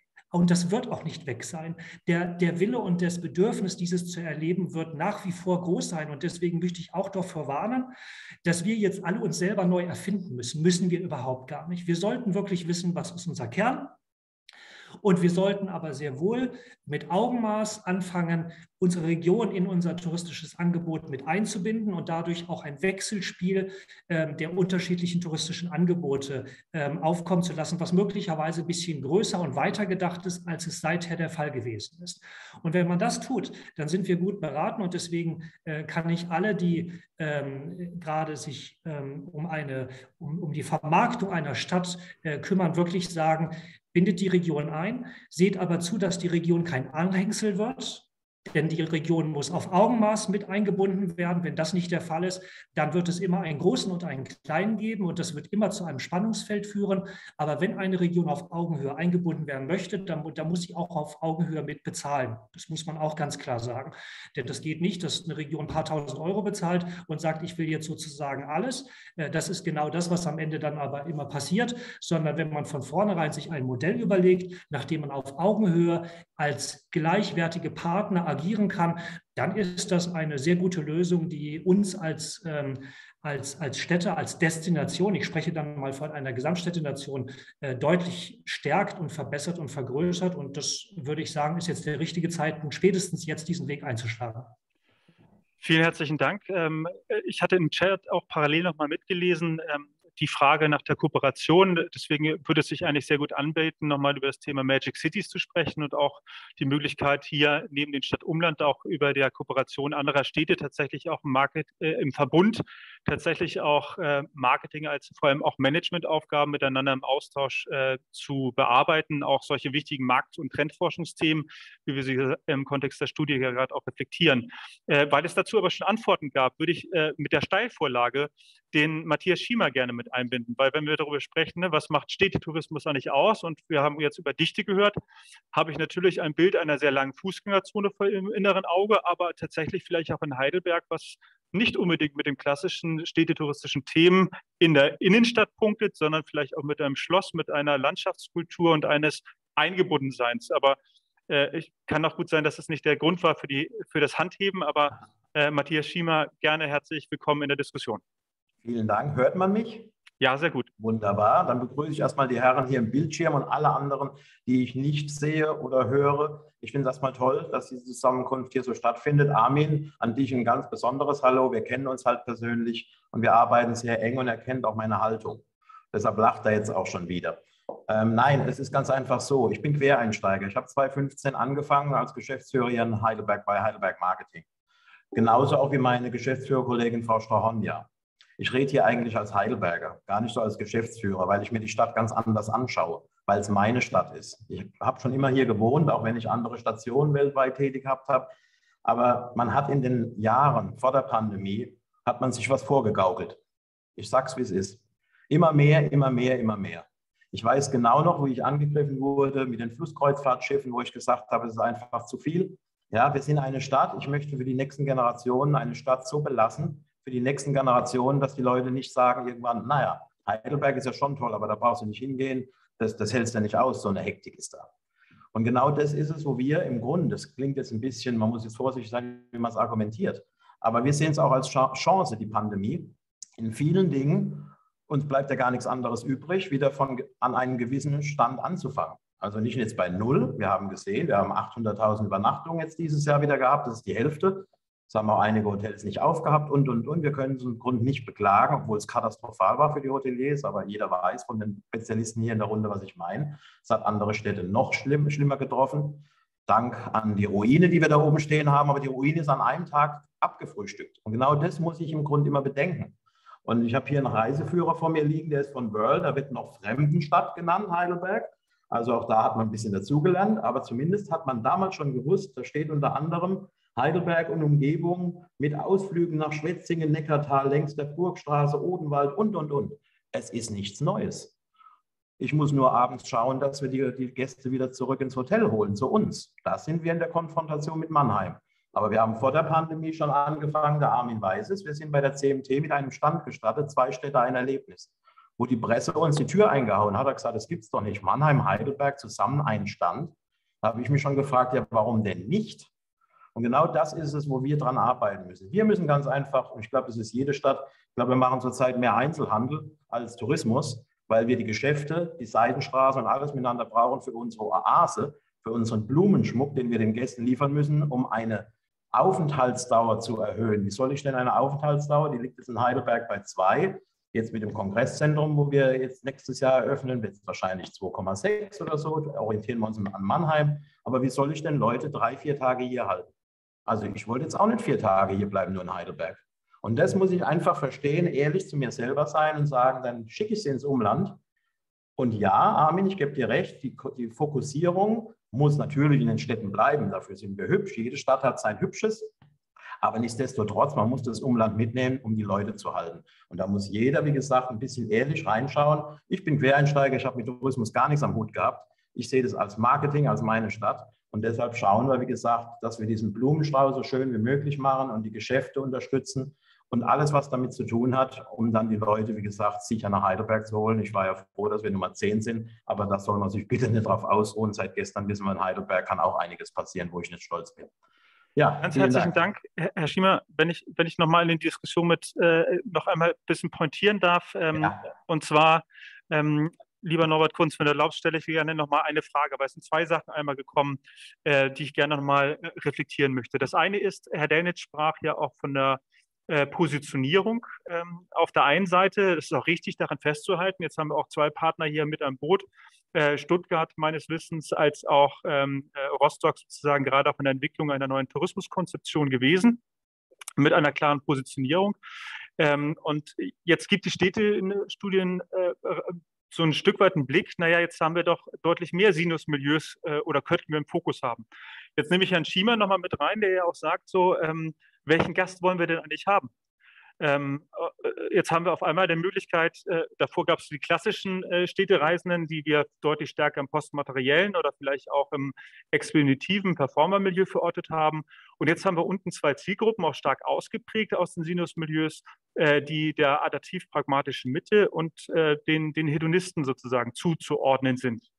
Ähm, was machen wir denn nun? Wir sind in der Situation, äh, dass wir, dass wir bestimmte Umsatzeinsbußen haben, und zwar insbesondere, wenn wir die Leistungsträger anschauen.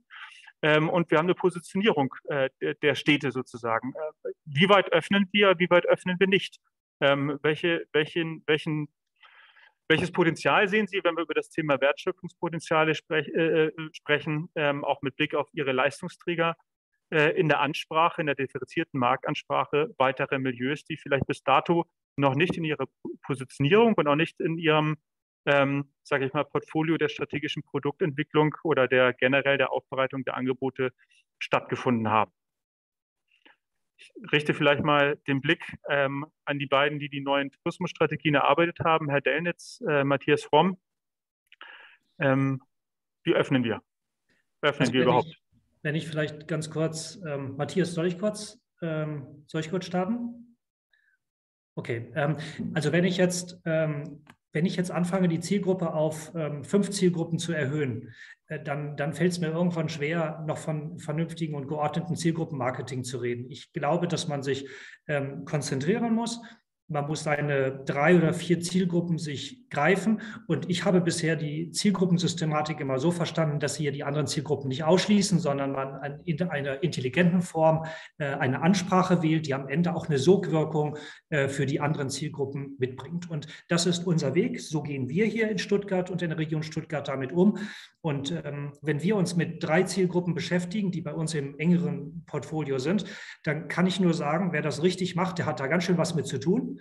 Ähm, denn wenn Sie alle Mitarbeiterinnen und Mitarbeiter in diese Zielgruppensystematik wirklich mit einbinden wollen, dann ist das fast eine Wissenschaft ähm, die irgendwann mal überfordert. Also wenn Sie jetzt fünf oder sechs Zielgruppen nehmen, dann, dann können Sie irgendwann das, das, das hinschmeißen, weil das funktioniert einfach nicht mehr aus meiner Sicht. Deswegen würde ich sehr empfehlen, sich zwei, drei wirklich rauszuziehen, sich mit denen intensiv zu beschäftigen, bedarfsgerechte Angebote zu entwickeln und die gesamte Kommunikation daran auszurichten und sich daran zu halten, auch wenn es verlockend ist, am besten ein bisschen links und rechts noch die nächste Zielgruppe mit reinzunehmen weil die Schärfe aus meiner Sicht dann ein Stück verloren geht. Das ist ähm, meine Empfehlung, das ist unsere Haltung. Wir arbeiten mit äh, drei Zielgruppen sehr fokussiert, die wir uns ausgewählt haben. Eine vierte, die wir äh, zwar durchaus noch mit berücksichtigen, aber äh, dann ist wirklich Schluss und dann wollen wir uns auch den neuen und weiteren Zielgruppen jetzt nicht weiter widmen, zumindest nicht in der Ansprache. Ja, also das kann ich nur bekräftigen. Also hier sollte man sich in der Tat nicht verzetteln. Wir in Rostock äh, sind jetzt gerade dabei, unsere Tourismuskonzeption vorzuschreiben. Äh, hier sehen wir aber auch eine klare Fokussierung in den Zielgruppen und äh, Quellmärkten. Ähm, alles andere kommt sowieso nach Rostock und Warnemünde. Das haben wir gerade in diesem oder im letzten Sommer erlebt, gerade was die Konsumhedonisten betrifft. Ähm, das hat nicht nur Vorteile. Das muss ich hier ganz klar sagen. Gerade wenn wir ähm, ja, über Tourismusakzeptanz, Verträglichkeit von Tourismus und dergleichen sprechen, äh, haben wir hier im letzten Sommer in Rostock und Warnemünde Gäste gehabt, äh, die sonst äh, ja, nach Mallorca ähm, reisen, um dort äh, sich ein Stück weit auch treiben lassen. Äh, das passt äh, dann nicht wirklich zu der Positionierung Rostocks und Warnemündes. Ähm, also daher klare Fokussierung, klare Angebotsformulierung, dass wir am Ende die Gäste hier bei uns willkommen heißen, ähm, ja, die wir auch wirklich wollen und die zu uns äh, ja, und zu den Rostockerinnen und Rostockern auch passen.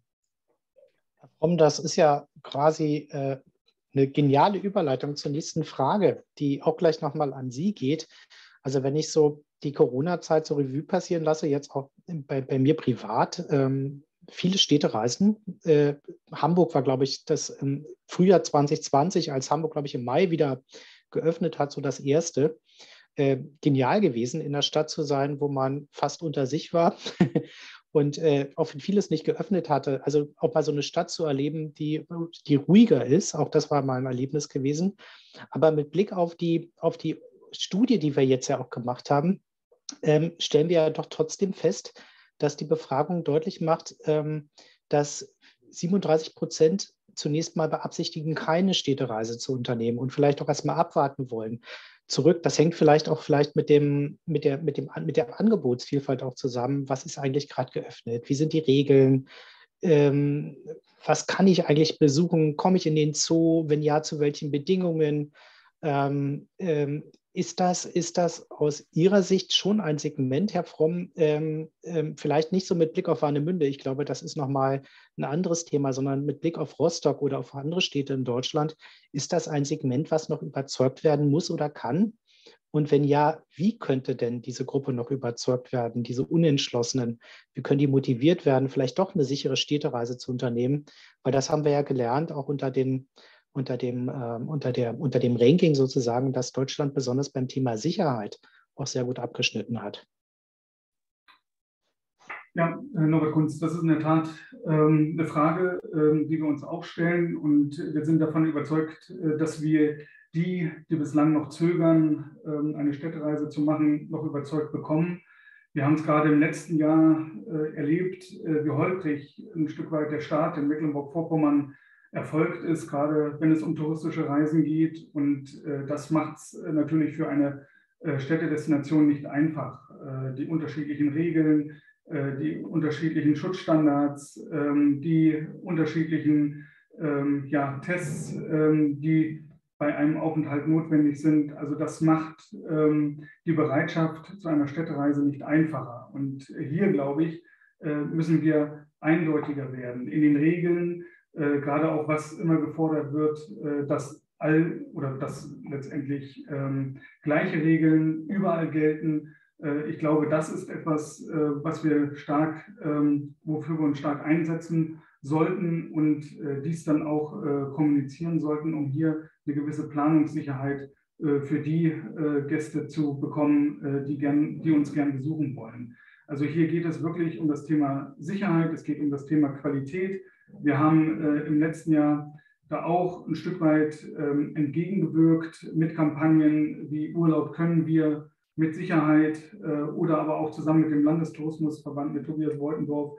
ähm, wo ein Qualitätssiegel entstanden ist, äh, das äh, letztendlich äh, ja ein Stück weit sicheres Reisen nach außen äh, kommunizieren sollte. Also hier braucht es eine klare und aktuelle Information an den Gast, wenn möglich, äh, ja, ähm, gleiche Regeln in ganz Deutschland. Und ähm, dann, glaube ich, ähm, können wir die, die noch zögern, davon überzeugen, zu uns zu kommen. Ähm, davon äh, bin, ich, bin ich überzeugt. Und was natürlich auch da ein Stück weit reinspielt, äh, dass die Politik auch frühzeitig ähm, Entscheidungen trifft, äh, wie das Reisen äh, in den nächsten zwei, drei Monaten aussehen kann. Also auch das hat uns ja ein Stück weit behindert im letzten Jahr, äh, wo die äh, politischen Entscheidungen, ne, wie sagt man immer schön, so schön vor die Öffnungswelle kamen. Also die, Infektionen waren rückläufig, ähm, aber die Politik sah sich außerstande, da auch für die Branche, für die Tourismusbranche im Allgemeinen eine Planungssicherheit zu geben und somit auch äh, für den Gast entsprechende Rahmenbedingungen zu kommunizieren, äh, ja, wie Reisen möglich ist. Also wenn wir das ähm, ja ein Stück weit als Learning aus dem letzten Jahr mitnehmen, dann kann das äh, jetzt gerade Anfang 2022 zu Ostern dann doch besser werden. Ja, vielen Dank. Damit haben Sie ja die Punkte angesprochen, die wir als, als Touristiker oder die Touristiker vor Ort ja gar nicht, gar nicht äh, beeinflussen können. Und das, was wir als DTV ja auch massiv fordern, dass es einheitliche, klare, nachvollziehbare, transparente Regeln gibt. Wer weiß denn schon, wann er mal eine Stadtgrenze, eine Landkreisgrenze ähm, als, als Reisender überschreitet und was da, was da genau gilt? Vielleicht ist das auch gleich eine Frage, ähm, die, da öffne ich nochmal Richtung Hamburg, ob das auch in Hamburg sozusagen ein, ein Thema ist und war ähm, dass äh, das Thema ähm, Regeltransparenz, wie, wie transparent sind die Regeln eigentlich und werden sie eigentlich verstanden, können sie noch verstanden werden, ist das auch ein Thema für Hamburg, das Reisende vielleicht abgehalten hat, eine Städtereise anzu, anzutreten?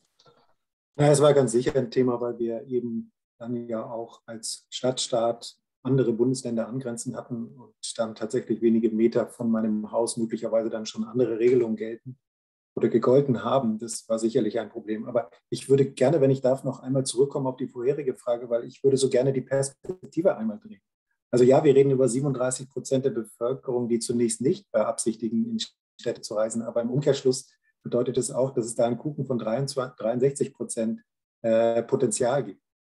Und ich glaube, das ist eine Zahl, die, die, die darf man gar nicht unterschätzen. Also es gibt für uns alle, ähm, wenn man so will, eine Menge zu holen. Und Insofern ähm, sollten wir uns da nochmal drauf konzentrieren, auch wie gelingt es uns, diese Reiselust und diese Offenheit für Städtereisen auch anzuzapfen und die Menschen mit den Produkten, die wir haben, dann auch zu begeistern. Und ähm, ich möchte mal ein Beispiel geben, ähm, wie das aus meiner Perspektive im letzten Jahr mit, einem, mit einer kleinen Kampagnenidee ganz gut gelungen ist. Und zwar haben wir in NRW einen kleinen Aufschlag gemacht, indem wir Menschen aus Nordrhein-Westfalen eingeladen haben, ihren Lieblingsmenschen wiederzutreffen. Weil aktuelle Studien eben belegt haben, es gibt einen Punkt, der uns für uns alle ganz wichtig ist im Wohlfühlen. Das ist das Treffen von Menschen, Freunden, Familien, Bekannten. Und das war natürlich etwas, was dann lange Zeit nicht möglich war. Und wir haben dann Menschen aus NRW eingeladen, ihren Lieblingsmenschen wiederzutreffen, ihn einzuladen zu einem Treffen in Hamburg. Und ich glaube, die Frage unseres Storytellings wird jetzt auch ganz wichtig sein. Wie sprechen wir unsere Gäste an? Mit welcher Emotion? Wo holen wir sie auch ab? Und gelingt uns das auch? Die Produkte sind stark genug, allemal.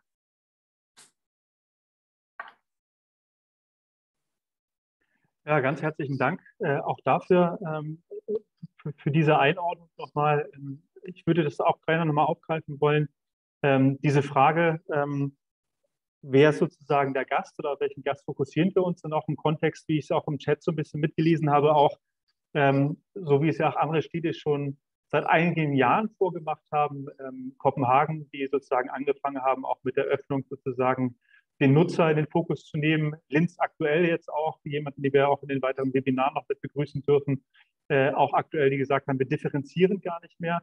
Insofern also auch, äh, wenn wir über das Marktpotenzial, die plus 60 Prozent, die ja Albertsen sozusagen normal als Potenzial ähm, in den Raum gestellt habe, uns vergegenwärtigen, dann ist es ja immer eine Mischung sozusagen aus dem, ähm, wen wir aus anderen Bundesländern erreichen, den wir direkt vor der Tür haben oder dessen Kiez es vielleicht schon ist, ne, weil er sozusagen Teil dieser Stadt ist und dementsprechend äh, ja auch sein Produkt oder sein Erlebnis ein Stück weit teilt. Vielleicht ist das nochmal so ein, so ein Punkt, den wir, äh, wir werden später ja auch nochmal im Laufe der weiteren Webinare vertiefen, aber der vielleicht nochmal eine Relevanz hatte auch, ähm, gerade wenn wir hier auch ähm, sozusagen die, die Großstädte nochmal gesondert reflektieren, das Thema Akzeptanz in diesem Kontext. Ähm, wenn ich sozusagen öffne und ähm, so habe ich es auch im Chat gelesen, wir müssen lernen, sozusagen auch unsere Produkte, und ich glaube, es haben schon viele Touristiker gelernt, auch für die eigene Bevölkerung auszurichten. Aber was bedeutet das ganz explizit nochmal, wenn wir jetzt auch über das Thema Führung und das Einladen sprechen? Denn in einer Situation, nicht in der Perspektive geschaut, wie wir den Tourismus verändern wollen, sondern in der wir uns jetzt gerade befinden, nämlich für die Perspektive 2022. Vielleicht ähm, können Sie da auch noch kurz mal einmal, einmal, reflektieren für sich und sagen, müssen wir da nochmal etwas sensibler äh, mit umgehen, auch in der Kommunikation nach draußen und nach innen? Oder, oder wie, wie stellen Sie sich das vor? Bitte schön, Herr Albert. Wir haben mit einer Aktion, um mal ganz konkret zu werden, in Hamburg wirklich ganz wunderbare Erfahrungen gemacht. Und zwar haben wir die Hamburger während der Pandemie eingeladen, die ganze Welt in Hamburg zu entdecken. Die ganze Welt konnte nicht bereist werden, aber wir haben in Hamburg das Glück, natürlich eine sehr kontrastreiche Stadt zu sein mit vielen internationalen Einflüssen. Und so haben wir wirklich eine, eine inhaltliche Welt gebaut, ähm, die wir dann auch den Hamburgern erzählt haben, sodass wir sie eingeladen haben, an einem Tag in Portugal in Hamburg zu sein oder durch Schweden in einem schwedischen Restaurant essen zu gehen oder ähm, asiatische Kampfsportarten zu machen, um so ein bisschen den Blick zu weiten und auf der anderen Seite auch zu sehen, was die eigene Stadt so alles eigentlich auch vorhält. Äh, Gleiches gilt mit den Grünen in der Stadt, aber natürlich auch insgesamt so das gesamte Portfolio, was man so im Tagestourismus eigentlich immer auch so vorhält. Und da haben wir gemerkt, da haben wir mal eine Erzählform gefunden, mit der wir auch die Hamburger wirklich erreicht haben.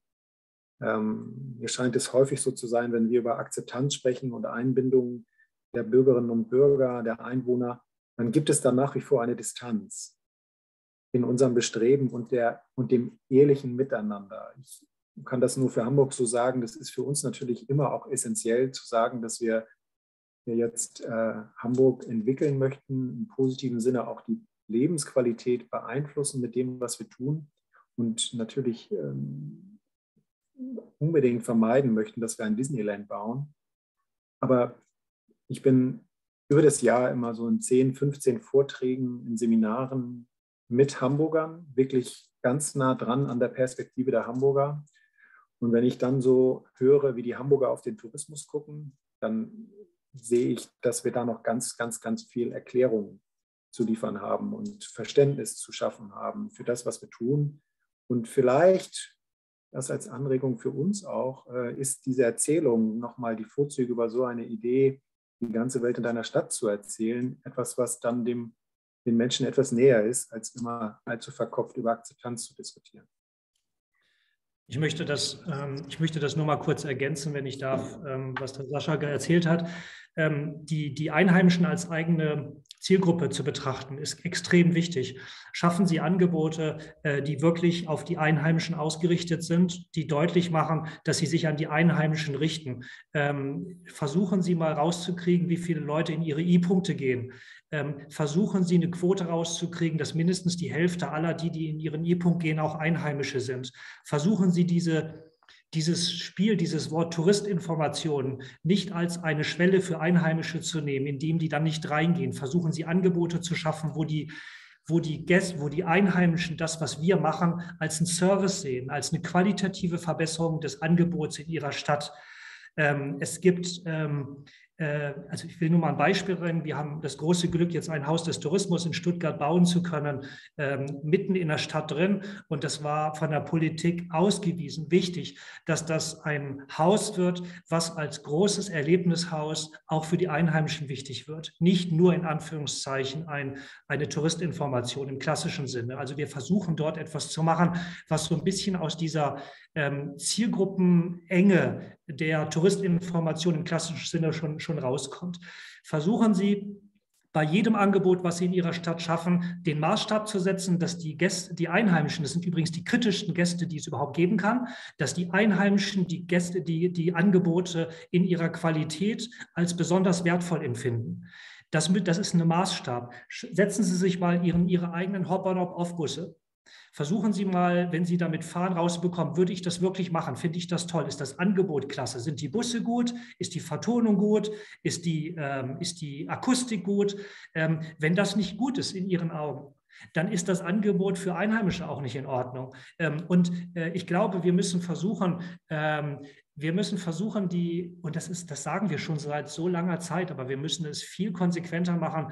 Wir müssen die Einheimischen, die Bevölkerung in der, in der Region als eigene Zielgruppe betrachten und müssen uns viel mehr Gedanken machen. Es gibt tolle Angebote, dass die ähm, Einheimischen äh, in den Hotels übernachten. Viele Städte haben das ja schon gemacht zu besonders günstigen Preisen. Gibt es ja unterschiedliche Namensgebungen, wie so etwas gemacht wurde. Das sind alles Formate, die sind wirklich gut. Die kosten möglicherweise Geld, Aber sie bringen auch etwas, weil sie deswegen die Einheimischen als Botschafter einsetzen können. Und äh, wenn sie das nicht schaffen, hat man, glaube ich, im Marketing eine ganz wesentliche Grundlage bereits schon verloren. Und ähm, möglicherweise ist der Zeitpunkt für so etwas jetzt besonders gut. Ich kann es nur von Stuttgart sagen. Die Wertschätzung gegenüber dem Tourismus ist in den letzten zwei Jahren unglaublich gewachsen. Die Politik, die Einheimischen, alle haben gemerkt, was in den letzten zwei Jahren hier gefehlt hat. Wo man sich möglicherweise in den Jahren zuvor immer darüber aufgeregt hat, dass hier die Asiaten kommen und dass die hier überall rumknipsen und rumstehen und Schlange bilden und in die Geschäfte gehen, dass das, was man manchmal sogar als lästig empfunden hat, ist auf einmal etwas, was einem, was einem fehlt. Weil die Einheimischen sind ja eigentlich stolz darauf, wenn, äh, wenn sie sehen, dass äh, Gäste kommen, die die Stadt sich angucken, die die Stadt äh, bewundern, äh, die sich mit ihr auseinandersetzen. Ich glaube, dass das im Moment ein guter Zeitpunkt ist, um die Einheimischen mit einer neuen Sensibilität an das Thema Tourismus heranzubringen und dass man Formate schaffen soll, wie man das hinbekommt. Äh, in den nächsten ein, zwei Jahren, solche gute Chancen werden Sie wahrscheinlich so schnell nicht wieder bekommen wie in den nächsten ein, zwei Jahren. Ähm, konzentrieren Sie sich darauf. Es ist die beste Form des Marketings. Es ist ein Garant am Ende als Multiplikatoreffekt und manchmal viel wertvoller als irgendwelche Anzeigenschaltungen in irgendwelchen Zeitschriften unterstreicht vielleicht nochmal ähm, die Einstiegsthese, die wir vielleicht eher auf, auf, den Gast bezogen haben, den Momentum des Tourismus ähm, und auch den Wert des Tourismus tatsächlich von Grund auf sozusagen nochmal richtig gerade zurück und auch in eine, in eine gemeinsame Zukunftsperspektive zu führen. Ähm, jetzt haben wir eine Wortmeldung noch mit drin, die sich so tapfer die ganze Zeit äh, gehalten hat. Und deswegen, bevor wir nämlich gleich auch aus der zeitlichen Perspektive in die Schlussrunde einläuten müssen, leider schon, ähm, würde ich doch gerne, wenn es die Möglichkeit gibt, Frau Friedrich, dass Sie Ihr Mikrofon äh, freischalten. Momentan ist es noch geblockt, sehe ich, aber dann sollen Sie auch gerne die Möglichkeit haben, sich noch einmal in die Diskussion mit äh, einzubinden.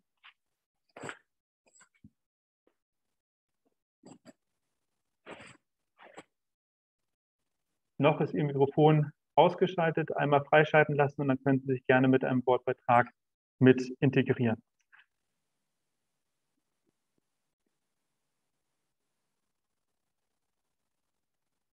Da scheint technisch momentan ein paar Schwierigkeiten zu geben.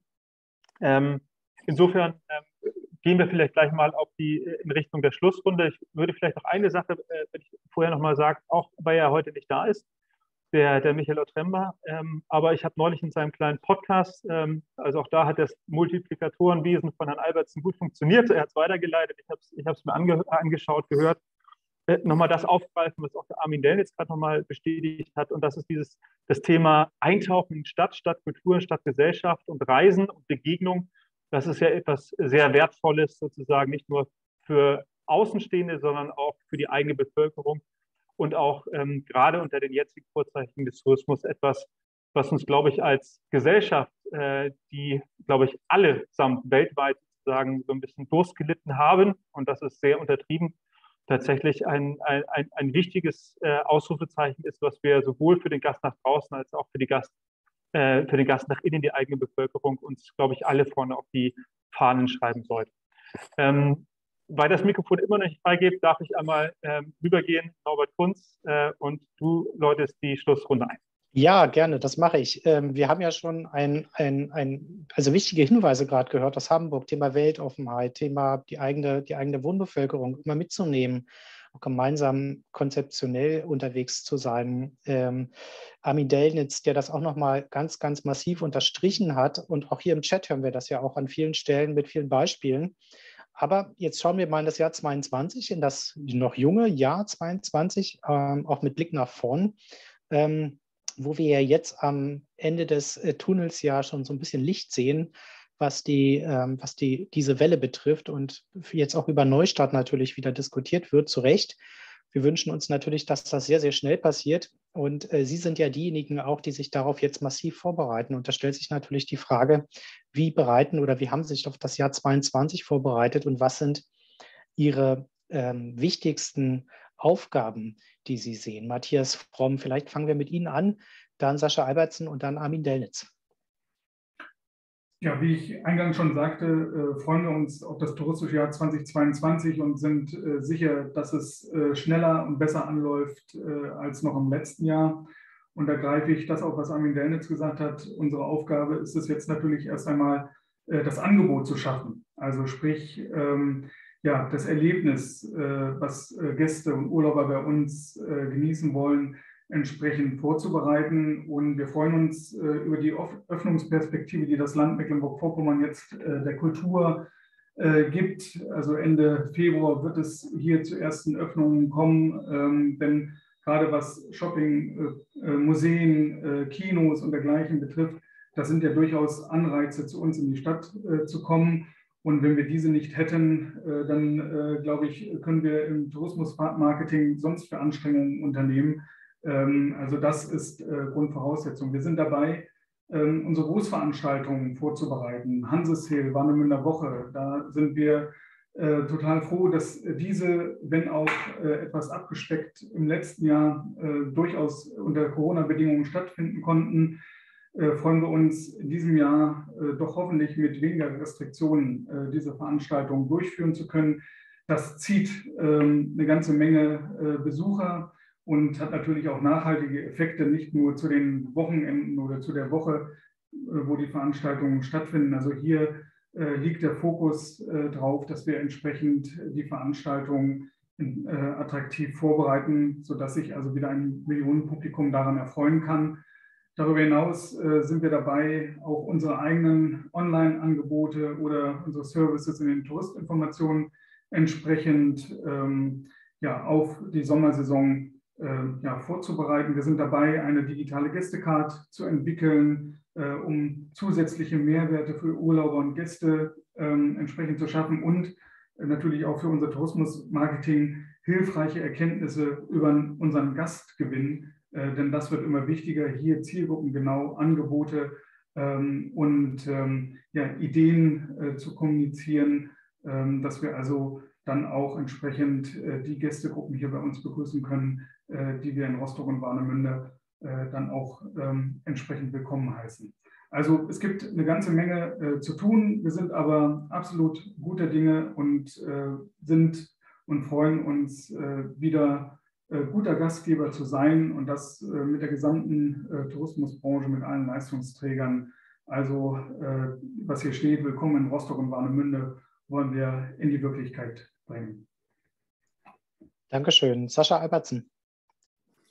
Ja, sehr gerne. Ich würde gerne beginnen mit einer unternehmerischen Perspektive. Ähm, wir schauen gerade sehr intensiv darauf, äh, dass wir unsere Mitarbeiter nicht aus den Augen verlieren bei uns in der Hamburg Tourismus GmbH und ähm, sind da gerade sehr sensibel und sehr intensiv dabei zu schauen, wie wir unsere Arbeitgebermarke auch noch stärker aufstellen können. Ich glaube, das ist ein Thema, das wir heute noch gar nicht aufgemacht haben, das Thema Fachkräfte und auch der Mangel an Menschen, die wir begeistern für unsere Branche, aber ein ganz, ganz, ganz, ganz zentrales Thema natürlich auch erfolgskritisch, erfolgskritischer denn je.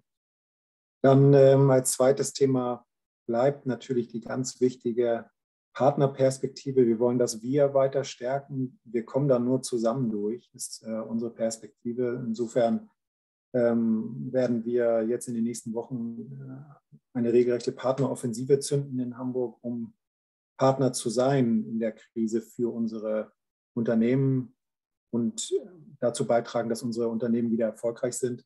Ähm, und dann, glaube ich, liegt unsere Aufgabe kurzfristig insbesondere darin, die Stärken Hamburgs zu kommunizieren, sichtbar zu machen, es irgendwie hinzubekommen, mit unserem doch begrenzten Budget äh, auch omnipräsent zu sein in den Märkten, die wir definiert haben für unsere Partner und dann richten wir den Blick aber natürlich auch nach vorne, natürlich darin, den Tourismus für die Zukunft inhaltlich strategisch auszurichten. Das ist ein Prozess, in den wir uns jetzt hineinbegeben, der sich dann am Ende natürlich auch mit der Frage auseinandersetzt, wie richten wir unser, unser Unternehmen aus. Weil auch da sind wir natürlich vielen Veränderungen ausgesetzt und da wollen wir uns fit machen. So ganz dem Sinne von Wayne Gretzky, der ja mal so schön gesagt hat, ähm, was denn den Unterschied machen würde zwischen ihm und den anderen guten Eishockeyspielern hat er gesagt, ich versuche da zu sein, wo der Puck sein wird, nicht da, wo er jetzt ist. Also da haben wir eine Aufgabe, die wir versuchen zu bewältigen. Ja, von meiner Seite aus drei Punkte ganz kurz. Ähm, versuchen Sie keinen Aktionismus zu betreiben. Ähm, es ist so, dass die ruhige Hand zählt konzeptionell strategisches Arbeiten.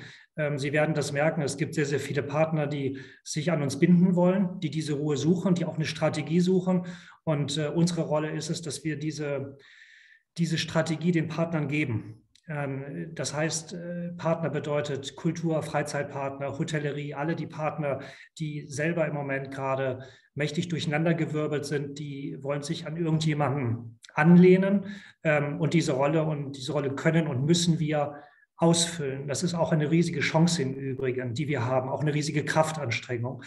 Also kein Aktionismus, sondern eine ganz klare, ruhige Hand. Denken Sie nicht nur im Jahr 22, denken Sie wirklich langfristig. Das ist sicherlich eine gute, ein guter Ratschlag.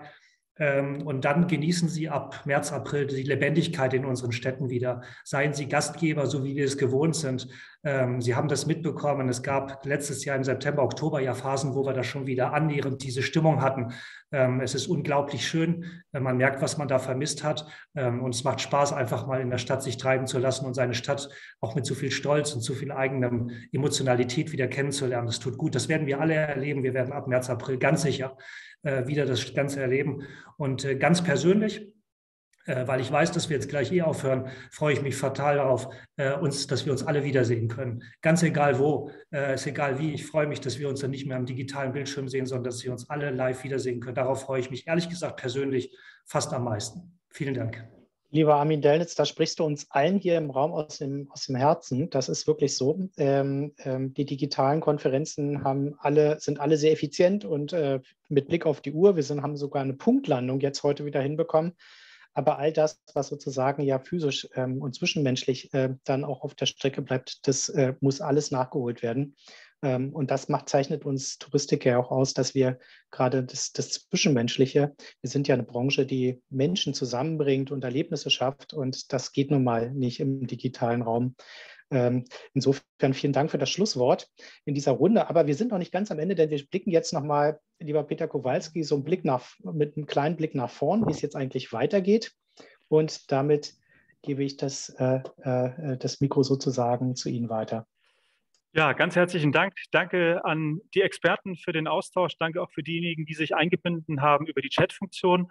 Ähm, lassen Sie uns das wirklich als, als Dialog und Austausch führen. Das ist der erste Teil einer Webinarreihe. Insofern die Chatfunktion ist noch weiterhin geöffnet. Wenn Sie noch weitere Anregungen zum Thema Treiber, zum Thema Erfolgsfaktoren haben, lassen Sie uns etwas zusammenführen. Ähm, auch wir sind eingestiegen äh, in diesen Dialog, dass wir gesagt haben, wir würden sehr gerne die Studienergebnisse koppeln mit den Expertenwissen und dem Wissen aus der Branche.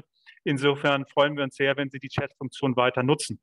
Äh, Nochmal für diejenigen, die äh, vorhin sozusagen das Ergebnis noch kurz zu kurz gesehen haben, auch das deckt sich, glaube ich, mit dem Diskussionsergebnis, was wir bisher hatten, nämlich nochmal den eindeutigen Potenzial aus dem Binnenmarkt heraus. Auch das nochmal differenziert zu betrachten, äh, wie es in der Diskussion passiert ist, auch in der Chat-Funktion genannt worden ist. Nicht nach der Tourist von draußen, sondern der Gast im übertragenen Sinne, der Nutzer aus der Bevölkerung, aus der Region, der Gast äh, aus den anderen ähm, Quellgebieten und hoffentlich auch bald wieder aus den internationalen Räumen äh, in unseren Städten. Ähm, ich hatte schon gesagt, äh, es ist eine Webinarreihe, deswegen sind wir natürlich auch sehr, sehr interessiert, äh, wie es Ihnen gefallen hat, auch ein Stück weit das Feedback in unsere Richtung, das Feedback in den Kreis äh, der Partner von St. Elmus Tourismus Marketing, vom Europäischen Tourismusinstitut und von DTV. Ähm, wir posten den Link gleich noch einmal in die Chat-Funktion, sodass Sie die Möglichkeit haben, dort ein kleines Voting ähm, für die Veranstaltung abzugeben.